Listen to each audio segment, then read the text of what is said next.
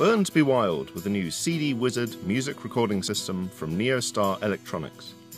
It plays, records, and sounds just magic. So much has been packed into one great unit.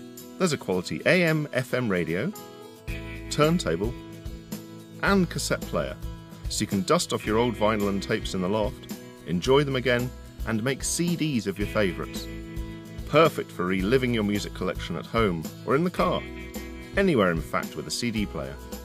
The superb CD Wizard is every music player you'll ever need. With twin CD trays, you can even make copies of your existing CD collection. Perfect for protecting your valuable discs from scratches. And best of all, all this can be done without touching a computer. You simply play your record, tape, or CD, and with a touch of a button, let the CD do the rest. Burning a new CD whilst you listen along on the built in twin stereo speakers, or keep it to yourself using your headphones. It's just all so easy to use.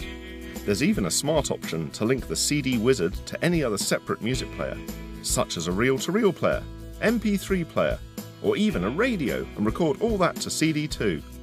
You can even make CD compilations from different audio sources, all onto a single CD. It's like your mixtape for the 21st century. You can see why it's called the CD Wizard.